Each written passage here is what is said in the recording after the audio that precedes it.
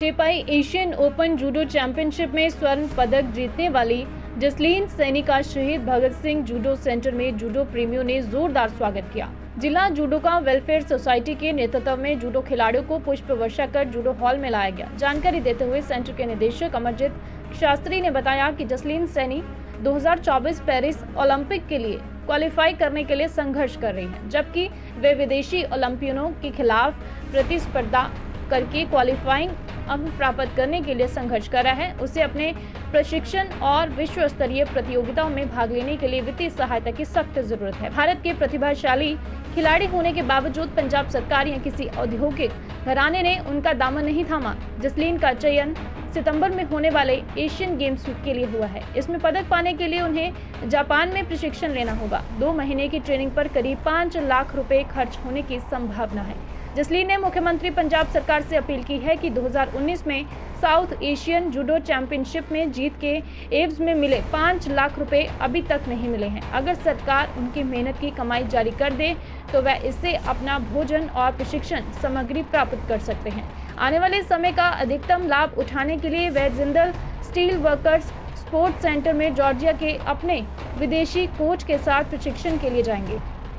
जिला judoka welfare society के सदस्यों ने जसलीन के साथ लड्डू बांटकर खुशी जताई और उसकी आर्थिक मदद के लिए प्रयास करने का भी वादा किया है हरिवाल से संवाददाता राजेश पंडित के आर न्यूज़ पंजाब ਮੈਂ ਜੀ 28 ਤਰੀਕ ਨੂੰ ਇੱਥੋਂ ਅ, ਜਿਹੜੀ ਆਪਣੇ ਤਾਈਵਾਨ ਦੇ ਵਿੱਚ ਸੀਨੀਅਰ ਏਸ਼ੀਅਨ ਚੈਂਪੀਅਨਸ਼ਿਪ ਹੋ ਰਹੀ ਸੀ ਉਹ ਖੇਡਣ ਗਿਆ ਸੀਗਾ 28 ਤਰੀਕ ਨੂੰ ਤੇ ਅ, 29 ਤਰੀਕ ਨੂੰ ਮੈਂ ਉੱਥੇ ਪੁੱਜਿਆ ਤਾਈਵਾਨ 30 ਤਰੀਕ ਨੂੰ ਮੇਰਾ ਉੱਥੇ ਵੇਟ ਸੀਗਾ ਤੇ 1 ਤਰੀਕ ਨੂੰ ਮੇਰੀ ਉੱਥੇ ਫਾਈਟ ਸੀ। ਤੇ ਜਿਹੜੀ ਫਾਈਟ ਦੀ ਜਿਹੜੀ ਸ਼ੁਰੂਆਤ ਮੇਰੀ ਜਿਹੜਾ ਰਾਉਂਡ ਪਹਿਲਾ ਸੀਗਾ, ਉਹ ਮੇਰਾ ਮਲੇਸ਼ੀਆ ਨਾਲ ਹੋਇਆ ਤੇ ਉਸ ਤੋਂ ਬਾਅਦ ਜੋ ਪਹਿਲਾ ਜਿਹੜਾ ਰਾਉਂਡ ਸੀਗਾ ਮੇਰਾ, ਉਹ 1.5 ਤੋਂ 2 ਮਿੰਟ ਦੇ ਵਿੱਚ ਵਿੱਚ ਚੱਲਿਆ ਤੇ ਉਹ ਮੈਂ 1.5 ਮਿੰਟ ਦੇ ਬਾਅਦ ਮੈਂ ਈਪਨ ਤੇ ਖਤਮ ਕੀਤਾ। ਉਸ ਤੋਂ ਬਾਅਦ ਜੋ ਜਿਹੜਾ ਦੂਸਰਾ ਰਾਉਂਡ ਸੀਗਾ ਮੇਰਾ, ਉਹ ਮੇਰਾ ਕੋਰੀਆ ਦੇ ਨਾਲ ਪਿਆ। ਉਹ ਵੀ ਮੈਂ 2 ਮਿੰਟ ਤੋਂ ਬਾਅਦ ਏਪਨ ਦੇ ਸਕੋਰ ਤੇ ਖਤਮ ਕੀਤਾ ਤੇ ਜਿਹੜਾ ਤੀਸਰਾ ਰਾਉਂਡ ਸੀ ਉਹ ਜਾਪਾਨ ਨਾਲ ਸੀ। ਉਹ ਮੇਰਾ ਡੇਢ ਤੋਂ 2 ਮਿੰਟ ਦੇ ਵਿੱਚ ਉਹ ਵੀ ਮੇਰਾ ਇੰਨਾ ਕੀ ਚੱਲਿਆ ਜੀ ਤੇ ਈਪਨ ਤੋਂ ਈਪਨ ਦੇ ਸਕੋਰ ਤੋਂ ਮੈਂ ਖਤਮ ਕੀਤਾ ਉਹ ਵਾਲਾ ਰਾਉਂਡ ਜਿਹੜਾ ਚੌਥਾ ਰਾਉਂਡ ਸੀਗਾ ਉਹ ਮੇਰਾ ਫਿਰ ਤੋਂ ਕੋਰੀਆ ਨਾਲ ਸੀਗਾ ਫਾਈਨਲ ਰਾਉਂਡ ਜਿਹੜਾ। ਤੇ ਉਹ ਵਾਲਾ ਜਿਹੜਾ ਰਾਉਂਡ ਸੀਗਾ ਉਹ ਜਿਹੜੀ ਪਹਿਲੇ 4 ਮਿੰਟ ਸੀਗੇ ਉਹਦੇ ਵਿੱਚ ਸਾਡੇ ਦੋਵਾਂ ਦੀਆਂ ਦੋ ਦੋ ਪਲੈਂਟੀਆਂ ਰਹੀਆਂ। ਉਸ ਤੋਂ ਬਾਅਦ ਜਿਹੜਾ 6ਵੇਂ ਮਿੰਟ ਦੇ ਵਿੱਚ ਮੈਂ ਉਹਨੂੰ ਤੋਂ ਉਹਨੂੰ ਵਜ਼ਾਰੀ ਦਾ ਸਕੋਰ ਮਾਰ ਕੇ ਤੇ ਮੈਂ ਜਿੱਤ ਹਾਸਿਲ ਕੀਤੀ। ਕਿਹੜਾ ਮੈਡਲ ਜਿੱਤਿਆ? 골ਡ ਮੈਡਲ। ਕਿੰਨੀ ਪ੍ਰੈਕਟਿਸ ਕਰਨੀ ਪਈ, ਕਿੰਨੀ ਮਿਹਨਤ ਕਰਨੀ ਪਈ ਹੈ 골ਡ ਵਾਸਤੇ? ਦੇਖੋ ਜੀ, ਜਿਹੜੀ ਮਿਹਨਤ ਜਾਂ ਪ੍ਰੈਕਟਿਸ ਜਿਹੜੀ ਹੈਗੀ ਆ, ਇਹ ਤੇ ਪਿਛਲੇ 15 ਸਾਲਾਂ ਤੋਂ ਚੱਲਦੀ ਪਈ ਹੈ ਸਾਡੀ। ਤੇ ਜਿਹੜੇ ਕੰਪੀਟੀਸ਼ਨ ਨੇ, ਉਹ ਵੀ ਮੇਰਾ ਇਹ ਵਾਲਾ ਜਿਹੜਾ ਕੰਪੀਟੀਸ਼ਨ ਸੀਗਾ ਪਿਛਲੇ ਦੋਵਾਂ ਮਹੀਨਿਆਂ ਦੇ ਵਿੱਚੋਂ ਇਹ ਮੇਰਾ ਚੌਥਾ ਕੰਪੀਟੀਸ਼ਨ ਸੀਗਾ।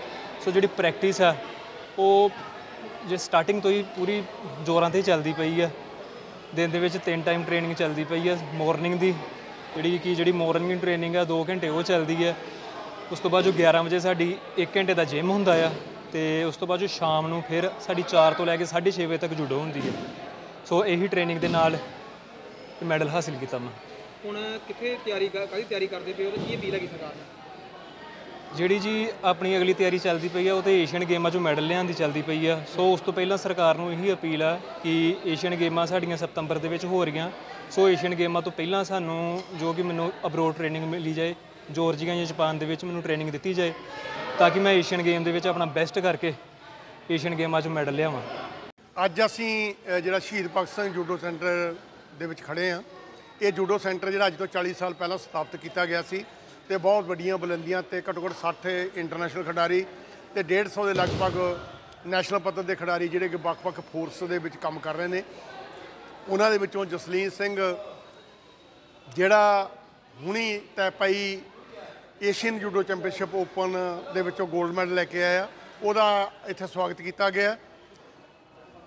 ਸਾਡਾ ਜਿਹੜਾ ਟਾਰਗੇਟ ਹੈ, ਉਹ ਕੱਲਾ ਏਸ਼ੀਅਨ ਜੂਡੋ ਚੈਂਪੀਅਨਸ਼ਿਪ ਨਹੀਂ, ਸਾਡਾ ਟਾਰਗੇਟ ਪੈਰਿਸ 올림픽 ਹੈ ਜਿਹੜੀ 2024 ਚ ਹੋਣੀ ਹੈ। ਨਾਲ ਹੀ ਏਸ਼ੀਅਨ ਜਿਹੜੇ ਗੇਮਸ ਜਿਹੜੀਆਂ ਸਤੰਬਰ ਮਹੀਨੇ ਚ ਗਵਾਨਜੂ ਵਿਖੇ ਚੀਨ ਚ ਹੋ ਰਹੀਆਂ, ਉਹਨਾਂ ਚੋਂ ਮੈਡਲ ਹਾਸਲ ਕਰਨਾ ਹੈ। ਇਸ ਦੇ ਨਾਲ ਨਾਲ ਹੀ ਬਹੁਤ ਸਾਰੇ ਟੂਰਨਾਮੈਂਟ ਜਿਹੜੇ ਆਉਣੇ ਆ ਉਹਦੇ ਵਿੱਚ ਜਿਹੜੇ ਨਵੇਂ ਆਉਣ ਵਾਲੇ ਖਿਡਾਰੀ ਨੇ, ਉਹਨਾਂ ਨੂੰ ਕਰਨਾ ਪਰ ਸਵਾਲ ਇਹ ਹੈ ਕਿ ਅਸੀਂ ਤਾਂ ਸਭ ਕੁਝ ਚਾਹੁੰਦੇ ਆ ਪਰ ਜਿਨ੍ਹਾਂ ਦੀ ਜ਼ਿੰਮੇਵਾਰੀ ਬਣਦੀ ਹੈ, ਜਿਹੜੇ ਲੋਕਾਂ ਦੇ ਟੈਕਸਾਂ ਦੇ ਮਾਲਕ ਨੇ, ਉਹਨਾਂ ਦੀ ਜ਼ਿੰਮੇਵਾਰੀ ਜਿਹੜੀ ਆ ਉਹ ਹੋਣੀ ਚਾਹੀਦੀ ਆ। ਜਿਵੇਂ ਆ ਜੂਡੋ ਸੈਂਟਰ ਜਿਹੜਾ ਤੁਸੀਂ ਦੇਖ ਰਹੇ ਹੋ ਆ ਟਰੋਫੀਆਂ ਦੀਆਂ ਲਾਈਨਾਂ ਜਿਹੜੀਆਂ ਤੁਸੀਂ ਲੱਗੀਆਂ ਦੇਖਦੇ ਹੋ। ਪਰ ਇੱਥੇ ਜਿਹੜੇ ਆ ਮੈਟ ਨੇ, ਜਿਹੜੇ ਕਿ ਇੰਟਰਨੈਸ਼ਨਲ ਪੱਧਰ ਤੇ ਹੋਣੇ ਚਾਹੀਦੇ ਨੇ ਪਰ ਇਹ ਸਬ ਸਟੈਂਡਰਡ ਮੈਟ ਨੇ ਜਿਹੜੇ 15 ਸਾਲ ਪਹਿਲਾਂ ਸਾਡੇ ਕੋਲੇ ਆਏ ਸੀ ਅੱਜ ਇਹ ਬਿਲਕੁਲ ਘਸ ਚੁੱਕੇ ਨੇ ਸਾਡੀ ਰਿਕੁਆਇਰਮੈਂਟ ਬੇਸਿਕ ਇਹ ਹੈ ਕਿ ਸਾਨੂੰ ਜਿਹੜੇ ਇੰਟਰਨੈਸ਼ਨਲ ਪੱਧਰ ਤੇ ਖਿਡਾਰੀ ਅ, ਜਿਹੜੇ ਮੈਡਲ ਜਿਹੜੇ ਦਿੱਤੇ, ਅ, ਮੈਟ ਦਿੱਤੇ ਜਾਣ ਤੇ ਨਾਲ ਹੀ ਜਸਲੀਨ ਸਿੰਘ ਸੈਣੀ ਨੂੰ ਬਾਹਰ ਜਾਪਾਨ ਅ, ਜਾਪਾਨ ਦੇ ਵਿੱਚ ਜਿਹੜੀ ਟ੍ਰੇਨਿੰਗ ਕਰਾਈ ਜਾਵੇ ਇਹਦਾ ਸਾਰਾ ਖਰਚਾ ਜਿਹੜਾ ਹੁਣ ਭਾਰਤ ਸਰਕਾਰ ਜਾਂ ਪੰਜਾਬ ਸਰਕਾਰ ਚੁੱਕੇ ਤਾਂ ਜੋ ਪੈਰਿਸ 올림픽 ਦੇ ਵਿੱਚ ਖੇਡ ਕੇ ਮੈਡਲ ਜਿੱਤ ਸਕੇ